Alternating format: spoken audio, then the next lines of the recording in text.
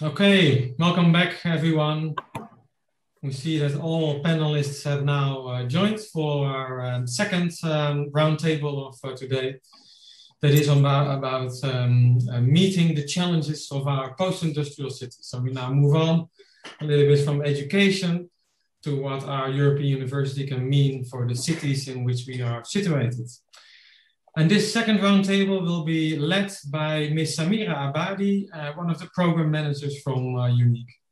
And I would like to hand the floor over to you, Samira. Yes, uh, thank you, Peter. Uh, good afternoon, everyone. Um, as Peter has said, I'm one of the program manager of UNIC, together with my colleague uh, Mario Halle. I'm happy uh, to lead the session. Uh, it's time for the cities um, so uh, about how uh, what we do for our cities and how we can impact them positively uh, with our universities. For this session, we invited the rectors of the universities that have a leading role in our city labs and thus in our impact uh, on our cities. I will uh, briefly, uh, very briefly introduce them to save some space for, for a good interaction. we have Professor Dr. Pierre Wolper, from the University of Liège, the rector. We have Vice Rector of University of Oulu, Dr. Arto Maaninen. I hope I pronounce it well. Uh, Professor Dr. Alex Rayon Jerez. He's a Vice Rector of the University of Deusto in, uh, in Bilbao. And uh, our own uh, Professor Dr. Ed Brinksma, the President of uh, Erasmus University Rotterdam, is also joining us in this conversation. Um, I will start with a general question, and I would like to give uh, to each rector the floor to answer that. After that, I will have some specific questions uh, focused on the expertise and the specialty of the universities and their vision. And uh, the first question is uh, actually related to who we are as a as a university and why we chose to to be uh, that university. UNIC is the European University of Post-Industrial Cities. Um, why do you think it's important to have a university of post-industrial cities? I would like to start with uh, Professor Wolper. Yes, well, greetings to all. Um, well, I think it's important to have a university of post-industrial cities is simply because first we are a post-industrial city. I mean, the history of Liège is very linked to industry. It started here in the early 19th century, and at the end of the 19th century, we were one of the major industrial centers in the world. And things have changed a lot since then. And so, being in the university with other universities of cities who have a similar history, I think is really important for us of sharing this experience and finding the best paths to really contribute to the cities we are in and to the dedication of the students we now have. Another point is that, you know, Liège was an internationally very attractive university and well known worldwide. We still are, but I think we don't have quite the same, you know, international uh, attraction as we had when uh, Liège was a major industrial center. And I think it's important to restore this. And being in UNIC is, for me, really a help in doing this. Thank you. And thank you for sharing some of the Liège history uh, as well. Uh, can I give the word to Dr. Arto Maaninen? Thank you. Yeah, we have the same thing in Oulu in Finland and in, in Liège that we really are a post-industrial city and there has been a big transformation on ICT sector at Oulu and there was a there was big layoffs from, of Nokia and Broadcom back in 2014.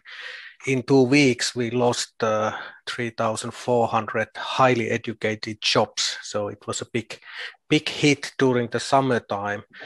Um, University of Oulu has had a role on, on recovery of, of the city, of course, not as an only actor, but as part of part of the development of the region and city on activities.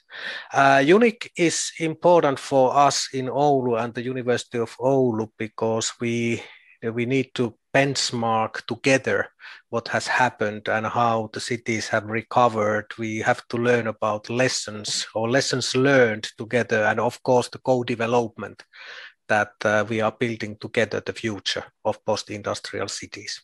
Thank you. Thank you, uh, Arto. Uh, Ed, can I give you uh, the floor for uh, for the answer from the Rotterdam perspective? Yes, thank you very much, um, and, and nice to see my colleagues here. Um, I would tend to, of course, I can repeat for Rotterdam in, in its own version what has been said for Oulu and, and, and Liège, but perhaps I'd like to take a slightly different angle.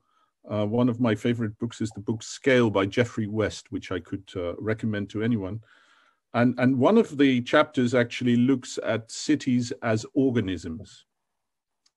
And um, you can look at cities as organisms, and they happen to have, in the entities we have in civilizations, the highest metabolism. And uh, I think among cities, post-industrial cities, again, uh, top that. They go to huge transitions, and it means that they are, on the one hand, I'd like to refer to the previous uh, uh panel. I think uh, Alex Scholmery said, uh, I mean, they're hotbeds of innovation. They must be, because we want cities to be long-lived organisms. And actually we we need to go to transitions to ensure that that you have a second a third a fourth lease of life.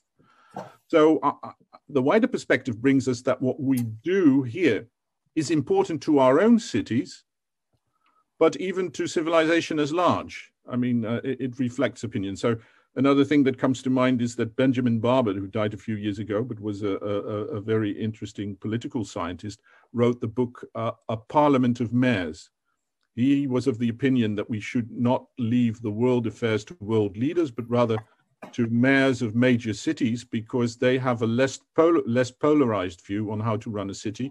You know, you may have a different political opinion, but the buses should run and the sewage should work. So, um, in this sense, I think also Rotterdam is a wonderful example of something that's going to a huge transition. We're a port city and an industrial city we have huge problems on our hands with respect to the energy transition, uh, but also uh, enormous uh, opportunity there. And another thing is that in big cities, you have usually big social divides, and our program for inclusiveness is, of course, best practiced in this environment. So it fits us like a glove, but I hope that the things we do would have a much wider significance beyond our cities. Thank you, Ed. You already shared uh, uh, some of the challenges uh, Rotterdam City is facing. Um, now, I would like to ask uh, Alex from Bilbao to uh, to answer uh, the first question. Good afternoon to, to all of you. I'm very very happy to be here with all you here. So here in the city of Bilbao, what happened 100 years ago was to, that um, luckily we found uh, high quality coal that permitted to, to have one of the two spots uh, uh, where the industrial revolution changed everything socially, economically, politically. And that has uh, lasted for almost 100 years. But uh, obviously, that uh, 20, 25 years ago, many things changed here in Bilbao. And we lost uh, uh, a large number of empl uh, employees. We lost many of our big companies and we lost our identity because we were um, pretty well known all over the world for being an industrial city, for having built a society around a coal industry. And that's uh, that was uh, that was our problem, and that's part of what uh, the rector Pierre said at the very beginning that um, uh, things are changing. And uh, probably that means that we need to see the future, uh, seeing what is happening in other parts of the world that have suffered or are suffering the same situation. So for me, answering your question, um, a university like this one, an identity like this one is needed because we need to, to, to, benchmark what, what, is, what others are doing and what the city of Bilbao could do in the future because right now we do have more questions than answers. And that uh, that means that we need to to be all the time um, seeing others making questions and making reflections thank you uh, alex uh, is there uh, is there anyone uh, of the panel who already wants to um, respond to the last answers of uh, alex and ed maybe If not, I would like to uh, ask the second question, although some of you partly answered it, but I'll link it to what UNIC, how UNIC could, could contribute.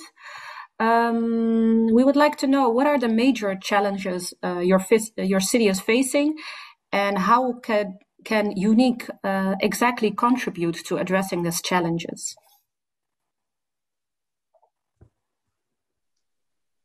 Is there anyone who would like to start? I guess I could start, and I started the last round, but this should not be a habit for the whole uh, panel. So, uh, challenges. Okay, I talked a bit about the past. Now, you see, when you have a, a strong past in the city, it's important to go beyond that. And the challenge sometimes here is to say, well, we had our rather glorious past. We have to look at the future and sort of not so much relish the past, but really, you know, construct the future. And we are doing this, and the university has been a very important actor in going through this transition, changing the type of industries we have. We had, as in Bilbao, coal mines, we had steel industry, now we have biotech, we have ICT. All this is growing, and we are helping to build this with the university. Now, what UNIC can bring to this is having this diversity of experiences going through the same type of transition and giving examples each uh, giving each of the partners of really giving examples to the other partners sharing our experiences saying in what we have succeeded where we have been best good and learning from each other. And i think you know we talk about diversity in our cities but having a diversity in our consortium UNIC consortium is also very important. You learn a lot by seeing how things go and how things are done in other places. And since there are some you know, similarities between our places, this can be even much more effective. So I think that's a major you know, contribution of UNIC is this sharing of similar experiences with a lot of variation between these experiences and then a lot to learn from each other. Uh, thank you, uh, Pierre. I saw that uh, Arto uh, raised his hand uh, when I asked who uh, wanted to start. So go ahead. Okay. Yeah. yeah, I can go second, so we have the same order. yeah, um, I would say that we, we have had some discussions from uh, with City of Oulu from the very beginning of the project, and not all of these topics are challenges as just, but we have we have four four topics we have discussed together. So uh, even though Oulu is an ICT city, one of the one of the topics or challenges for the city is the digital services of the city and how to co-develop these services together with the use, users, so us citizens.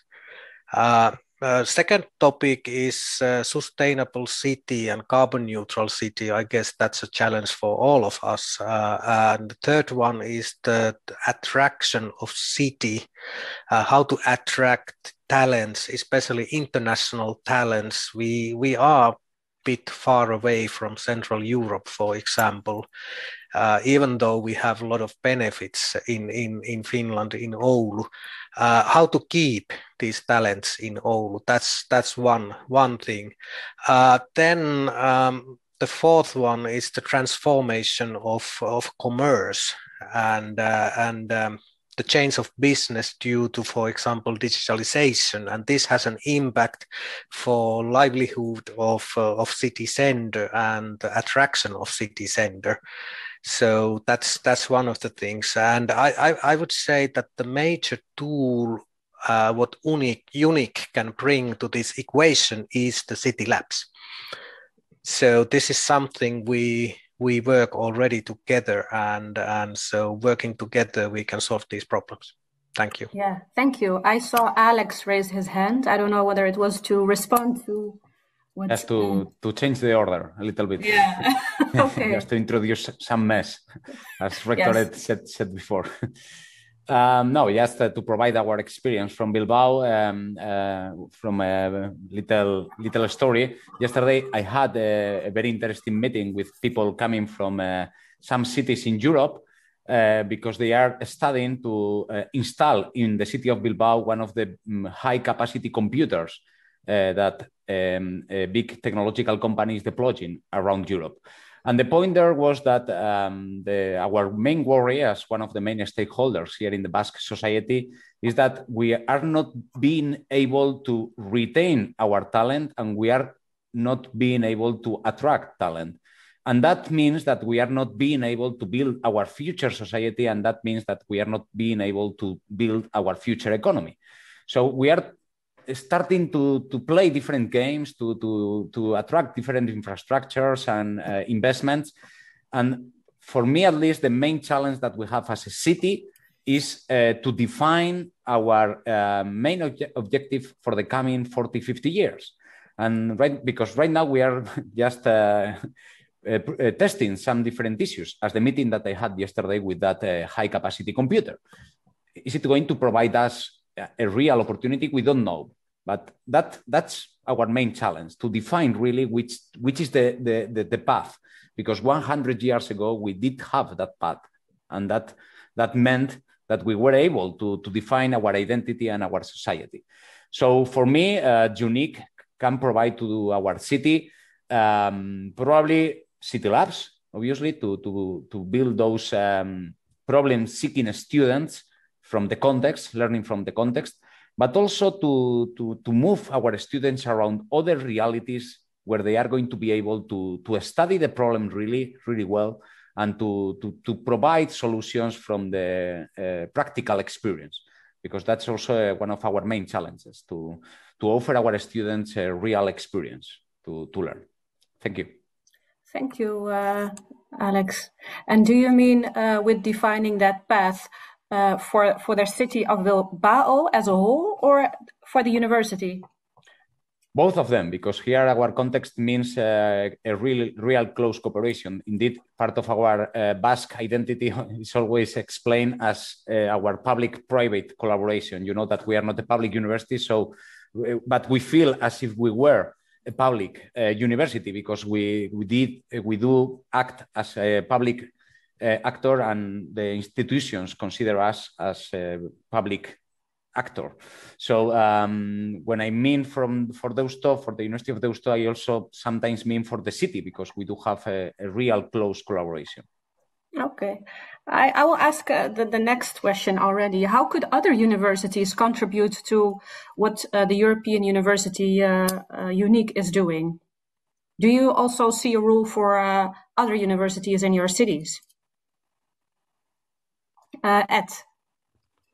Yes, uh, very much so. And I, I, thought you would, enough chaos has now been inserted in the progress uh, in program because I still wanted to reflect a bit on the on the previous thing, but I'll do it in one fell swoop. If of course, yes, you can combine them. Thank yeah, you. but it, so I, I, think, of course, uh, our, our, consortium is about uh, sharing best practices and experiences and comparing them.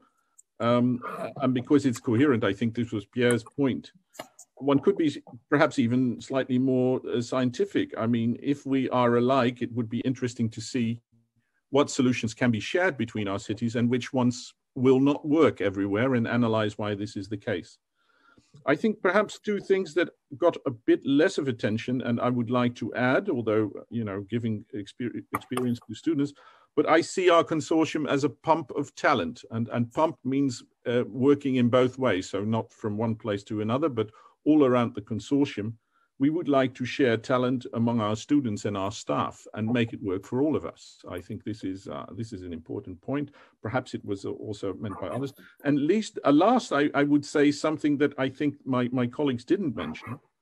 But being a representative of industrial cities in, in post-industrial cities in Europe, I mean, we are a lobby for our uh, for our sort, so to speak among universities and, and, and in a European program. So I, I, think we should also definitely have the ambition to influence the European agenda, both as regards universities and perhaps uh, policies that have an effect on post-industrial cities. So I'd like to mention that. Well, uh, going immediately to the second question, yes, I think uh, what everybody is saying more or less, I mean, we are central actors in our city.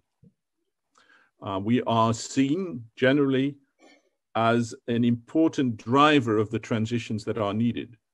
This means we have meaningful interaction, and this certainly means for my university, we have meaningful interactions with many other higher high, education uh, institutes in the city. And I think this, this is quite important because uh, if we want to interact meaningfully with the city, we also must interact meaningfully within the educational chain of the city. And I think one of the things we can also bring together is the experience that we have in this respect. Uh, so I see it as, as natural and important that we do it. And then, of course, uh, some of the questions we are addressing may not be just limited to our kind of cities. So, so the same argument applies.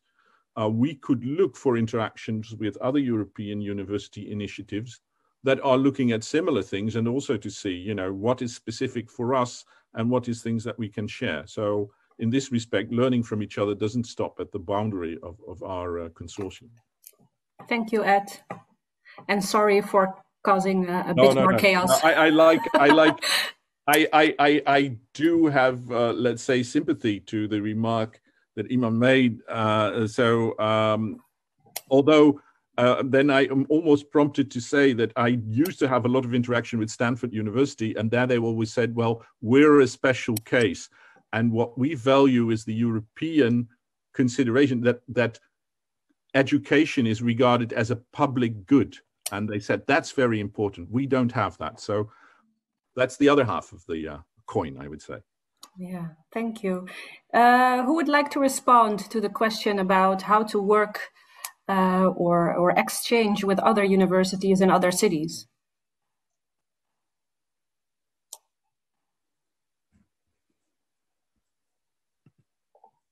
Okay. Um, shall I go to the next question? I'm uh, I'm really curious to know, and I think uh, our audience too, uh, what you're all proud of in your own uh, in, a, in your own university cities. And I would like to start to. Uh, uh, I'd like to start with Oulu. You are renowned for your innovation. what could the UNIC consortium learn from your innovation experiences? Hey, thank you, Samira. And I have I have two things. I I try to keep my answer short, but uh, please interrupt if I'm too using too many words.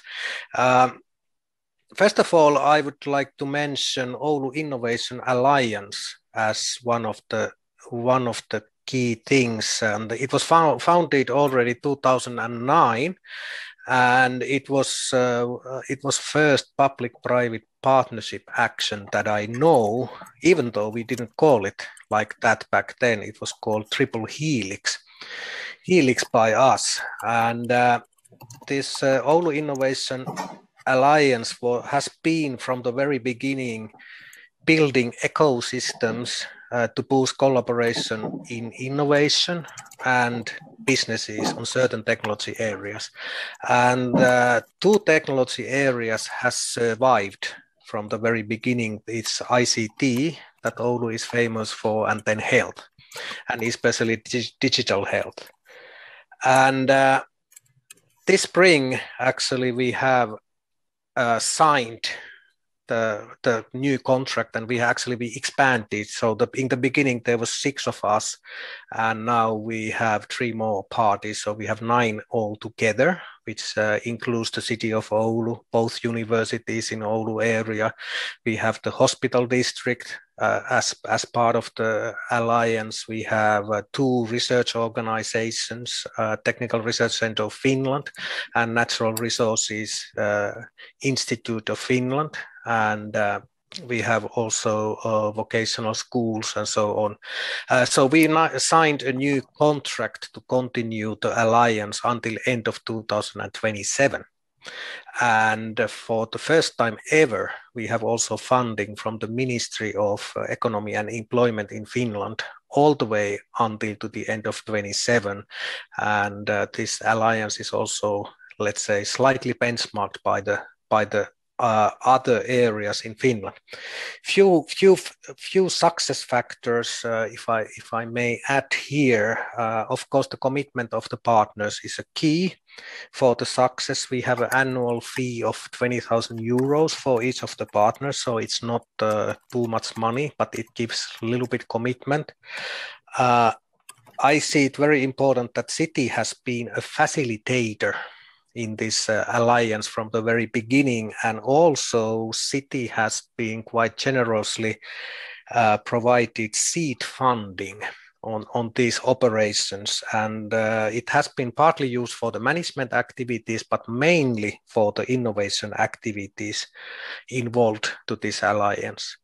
And, and the third cornerstone in this alliance is the active involvement of companies. And we have had uh, several uh, ecosystems. Some of them have already died. Some of them are already or, or, or still ongoing. And as, as an excellent example I could mention. One of these ecosystems is a Printocent ecosystem uh, dealing with the printed electronics, which uh, has been founded in the very beginning of the Innovation Alliance. It has annually around 40 companies involved, and out of these 40 companies, 30 is international companies, US, Europe, Asia, all over the world. And uh, they have um, uh, biannual conference with uh, more than 250 attendees. They have uh, a, a, very big portfolio of projects running all the time with uh, between the universities, research organizations, and the companies.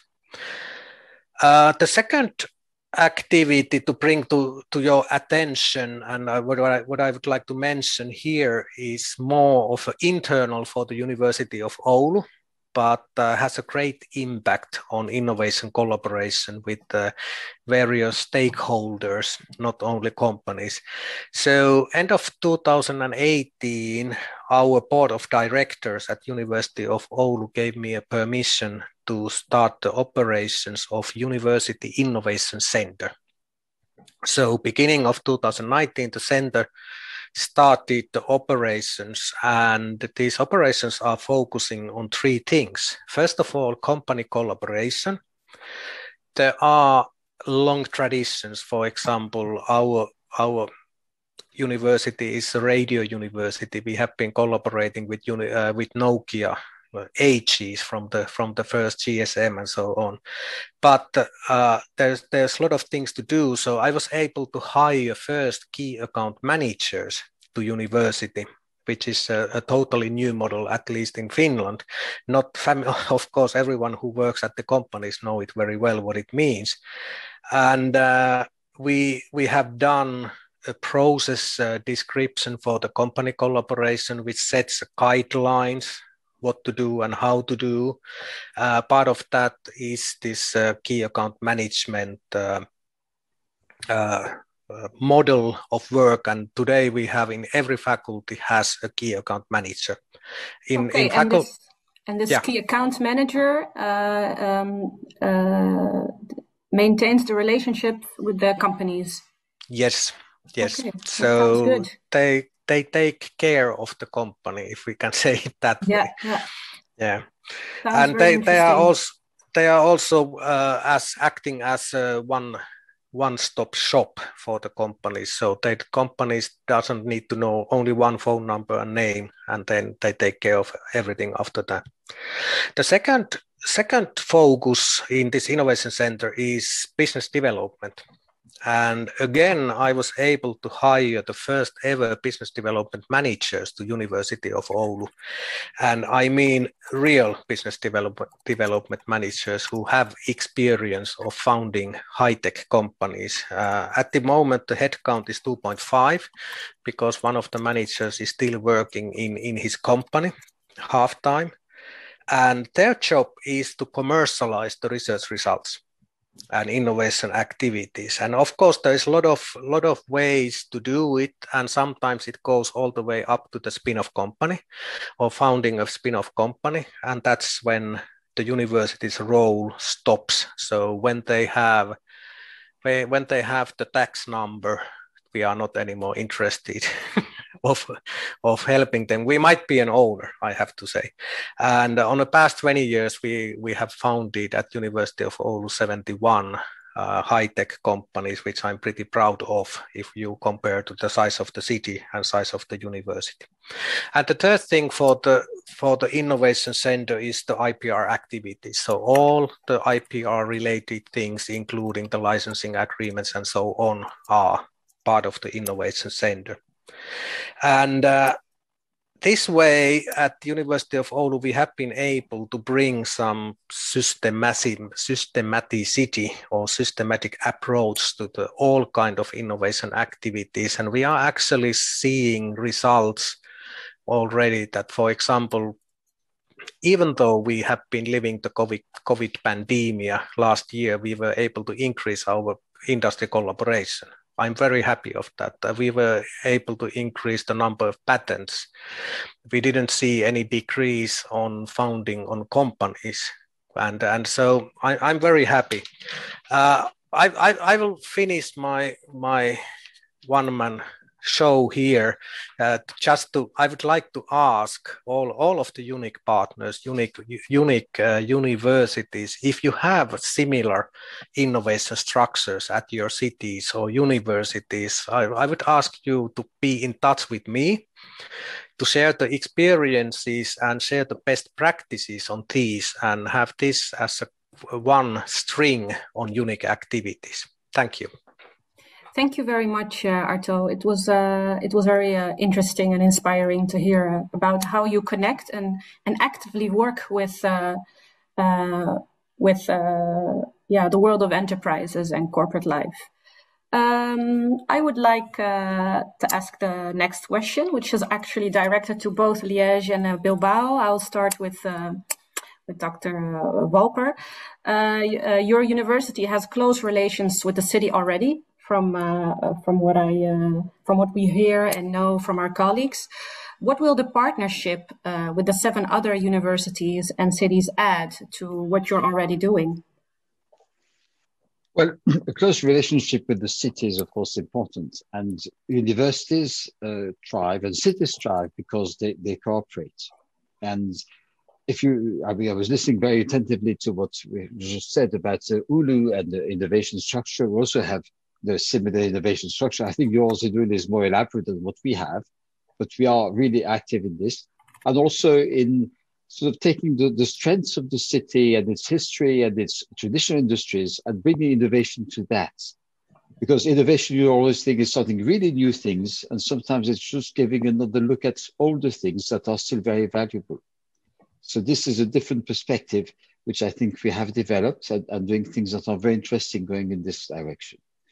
Now, what the the um, the consortium in the consortium can bring, you know, furthermore, is to expand the ecosystem, because we know that that you know things work when you know people, when you can interact, when you can get services to develop something, when you can have partners, and having a, a much larger ecosystem and having possibility of, exchanging you know people ideas uh, and and uh, maybe doing uh, with the collaborations and building projects together in all sorts of areas can bring more than what we can do alone here. Now of course in in our in our city our university has many contacts you know within UNIC and outside of UNIC but i think our you know the specificity of UNIC gives new opportunities and I'm thinking just about you know, exchanging students, hiring faculty from one another. It's it's a very positive thing. I mean, we had you know recently we just hired someone who had some experience in Cork and is now coming to Liège. And I'm not sure if you know UNIC played a role in this person coming to Liège, but maybe. And uh, I think this is the type of thing where you know our consortium is going to bring to the city a different diversity than what we have. And uh, this more different and the unusual diversity is going to be very interesting and is going to really, you know, build things. Just for the people we hired, you know, for, for this um, uh, project. I mean, we have Charlotte here in, in Liège, and she had never lived in Liège before. And she came because of the UNIC project. And of course, this is a very small example, but I think a very uh, one that, that really shows what can happen with a project like this. Thank you, uh, Pierre. And it's also uh, nice how you uh, emphasize also what uh, what benefits there are on micro level for individuals. Mm. Um, Alex, would you uh, like to answer this from a Bilbao perspective? This question.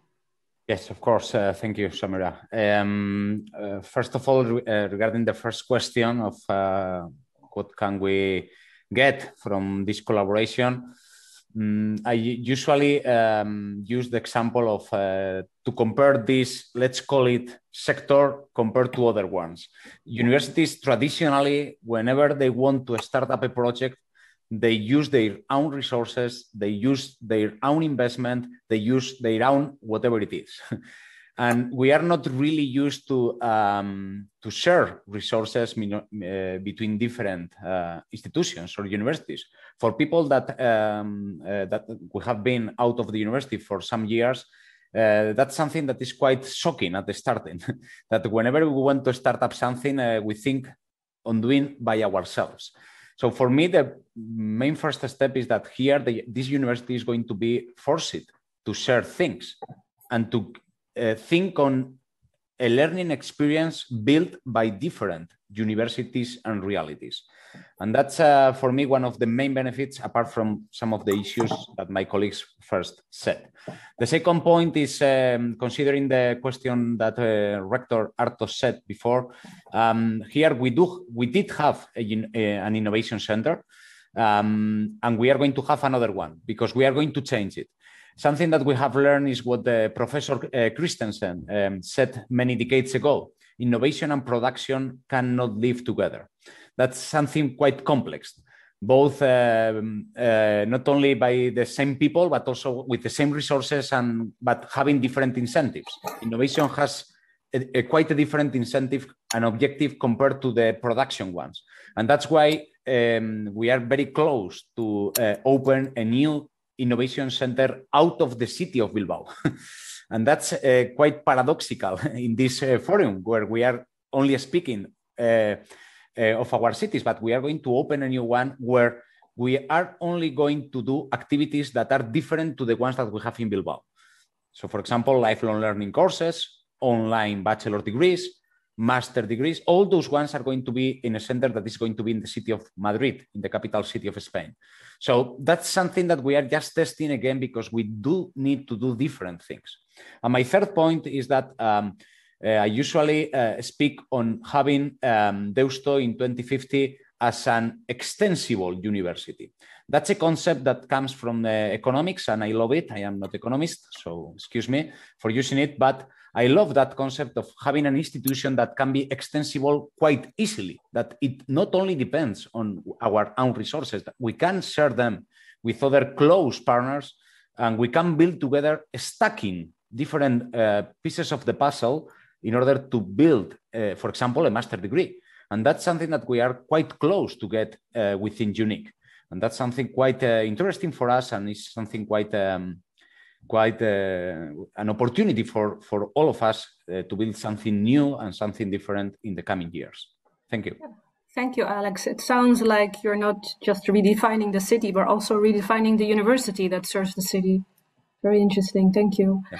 Um, we have now around uh, 15 minutes left. I would like to I haven't seen uh, any questions so far from attendees, but feel free to ask a question in the chat if you have any. Um, I'll make uh, some steps, uh, and I would like to ask uh, a specific question to all, and that's um, that's going actually to uh, the ones we're doing it for, and those are the citizens of the cities. Of course, probably most of us who work for the universities are also cities, citizens of the cities. But I would like to know from each one of you how can we truly become a university uh, that includes uh, citizens and their organizations as equal partners? So really uh, work bottom up. Who uh, would like to start uh, for uh, to answer this question?